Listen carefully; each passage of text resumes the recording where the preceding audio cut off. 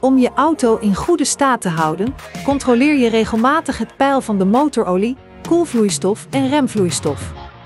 Let op, vloeistofpeil moet worden gecontroleerd op vlak terrein bij een koude motor terwijl de motor uitstaat.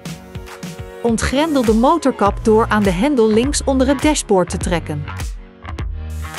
Stap uit, til de motorkap op en duw op de windhaak in om de motorkap te ontgrendelen.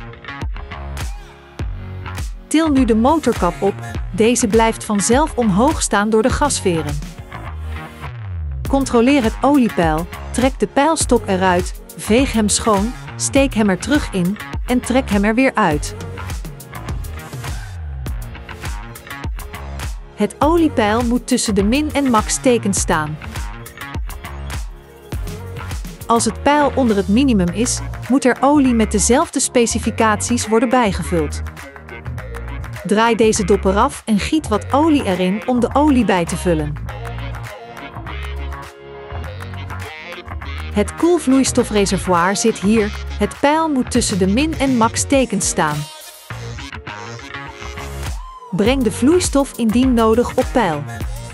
Gebruik alleen door Renault Group goedgekeurde producten als het gaat om antivries voor jouw motor of een corrosiewerend additief voor het koelsysteem. Het remvloeistofpeil mag nooit onder het mini-teken komen.